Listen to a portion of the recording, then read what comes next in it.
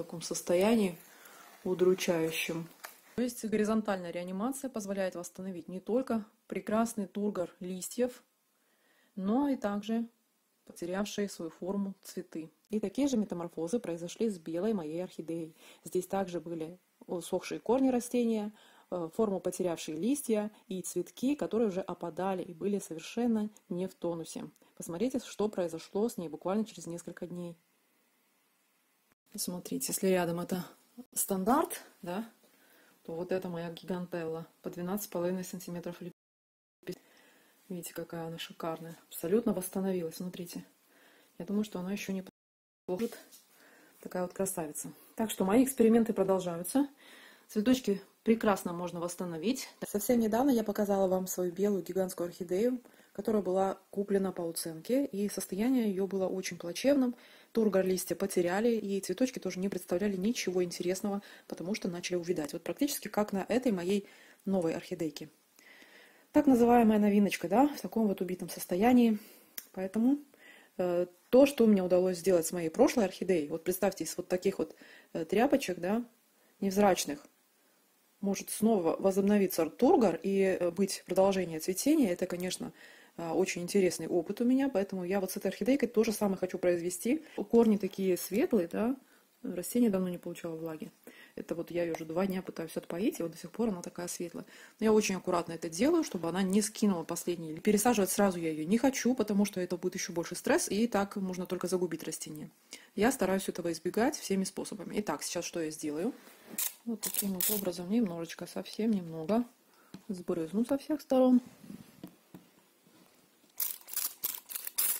Буквально вот таким вот образом. Такие пересушенные растения иногда нужно довольно длительное время отпаивать, и, и порой это может занять даже около месяца, пока корешки научатся снова впитывать воду, расправиться, и чтобы не произошло загнивание веломена, а с ним и отсыхание корней, нужно набраться терпения. Поэтому все, что я вот с ней делаю, это ежедневно или через день вот такое небольшое количество воды. Не нужно думать, что если мы купили вот такое вот растение, да, в таком состоянии удручающем, если мы его сейчас польем, то сразу же оно придет в себя. Представьте, до того времени, как оно попало в поле нашего зрения, сколько недель простояло или месяцев даже это растение без влаги. Поэтому торопиться в этом плане не стоит. Отпаивать будем ее постепенно. Это так же, как человека из голода выводят, да, совершенно маленькими порциями, каждый день, по чуть-чуть добавляя, вот так же и с орхидеями. Дальше что я делаю? Я ее укладываю на бачок.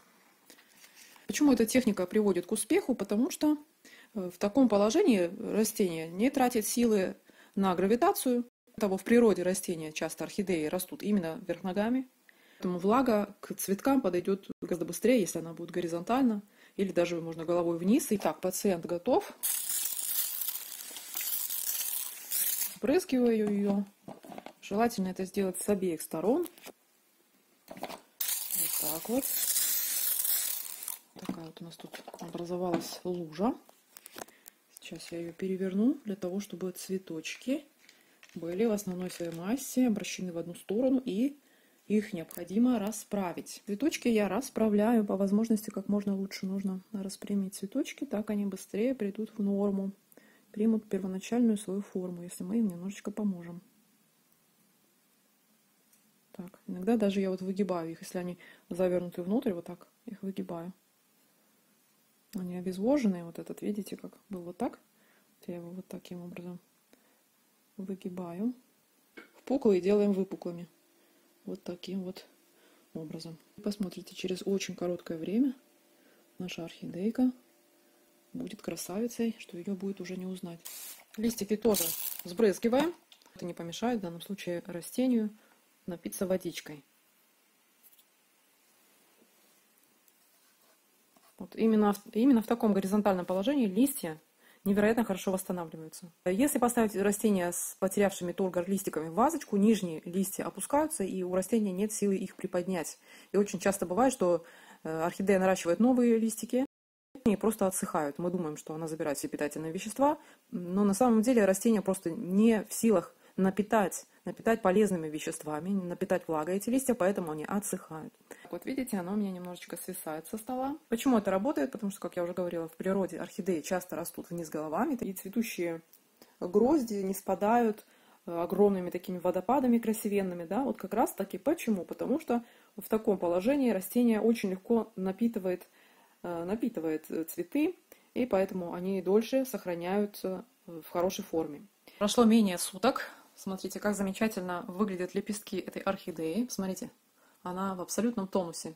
Конечно, вот эти вот покусанные насекомыми лепесточки уже с этим ничего не поделаешь, они вот даже шуршат, да?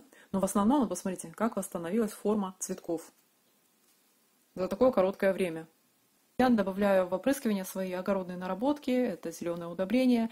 А, возможно, просто вода также будет подходящим образом восстанавливать наше растение. Тоже нужно пробовать, конечно, смотреть на результаты. Я вот сейчас делюсь тем, что у меня получилось. Ну, можно продолжать, конечно, ее таким образом реанимировать еще несколько дней и тогда она вообще в полном порядке, я думаю, будет. Но на данный момент это уже очень хороший результат. Я вам сейчас покажу орхидею, ту белую. Так, вот она моя красота. Сейчас покажу. Смотрите, какие у нее листья, как просто как у вертолета лопасти, да? Если вы отмотаете пару э, видео назад, э, видео называется «Срочно положите орхидею горизонтально» вы посмотрите, что вот эти вот листья, они вот так вот висели просто никаким образом. Смотрите, если рядом это стандарт, да, то вот это моя гигантелла по 12,5 сантиметров лепестки. Видите, какая она шикарная. Абсолютно восстановилась, смотрите. Я думаю, что она еще неплохо мне послужит. Такая вот красавица. Так что мои эксперименты продолжаются. Цветочки прекрасно можно восстановить, так что не отчаивайтесь. Э, единственное, опять-таки, на что хочу обратить внимание, что этот способ подходит только в том случае, если орхидея была пересушена. Корни перестали впитывать влагу, и орхидея потеряла свой тургор, потеряла э, форму цветков и листьев. Вот в таком случае можно ее восстановить. Если попытаться быстро отпоить орхидею, то она просто сбросит цветки, то есть сначала они теряют форму, потом она их вообще отсушит, и листья также могут стать сморщенными, и э, орхидея в итоге может заболеть, потому что корни разучились впитывать влагу. Вот. Сейчас я вам покажу. Вот смотрите, вот эта орхидея, наверное, ну, меньше двух недель, а может около двух недель, не знаю, надо пересмотреть видео. Э, посмотрите на корни, они до сих пор светлые, они немного сморщенные, да, то есть восстанавливаться растение будет долго. Иногда для этого требуется несколько недель, может быть месяц, так что нужно набраться терпения. Я ее опрыскиваю, как я уже показывала, совсем немного вот по контуру, не задевая шейку, потому что, чтобы не намочить торфяной стаканчик, и мы не впали в другую крайность, как переувлажнение. Вот. Но при этом растение приходит в себя. Посмотрите, какая шикарная у нее розетка листьев. Теперь с стороны, видите, тоже корешки какие светлые. Немножечко вот здесь вот уже такого более темного цвета. Немножко влаги они больше набрались. Но это я сегодня ее поливала. А так утром я подхожу, корни абсолютно светлые. И вот такое постепенное отпаивание, э, плюс горизонтальная реанимация, как я назвала этот способ. Горизонтальная реанимация позволяет восстановить не только прекрасную розетку листьев, но и, как видите, цветы. Подписывайтесь на канал, нажимайте на колокольчик, чтобы всегда быть в курсе моих экспериментов. Всем желаю красивых цветов. Всем пока!